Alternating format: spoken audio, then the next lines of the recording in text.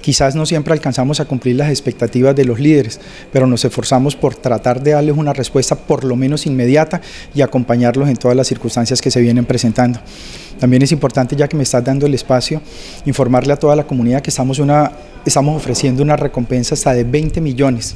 para quien ofrezca información certera sobre los panfletos que han estado circulando en nuestra ciudad en las últimas semanas. Sí, pues por el momento no hemos recibido de manera formal estas solicitudes o estas denuncias. Eh, yo hice una llamada a la policía de inmediato apenas me enteré del tema y ellos tampoco han recibido estas amenazas, entonces pues obviamente reiterarle a toda la comunidad, a todas las instituciones, que estamos siempre alertas y prestos a poder recibir esta información. Entonces pues una vez nosotros recibamos esta información de manera formal, pues obviamente haremos lo que nos compete y le pediremos a las instituciones de seguridad que hagan lo que tienen que hacer.